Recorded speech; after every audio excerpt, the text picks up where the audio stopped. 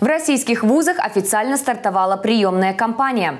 Подача документов возможна четырьмя способами. Очно, через сайты вузов, по почте или же с помощью сервиса поступления в вузы онлайн. На данный момент к нему подключены 974 высших учебных заведений и их филиалы. Получить доступ к такой функции можно через учетную запись госуслуг. После загрузки в систему документы пройдут верификацию, что избавит от необходимости предоставлять оригиналы в учреждение.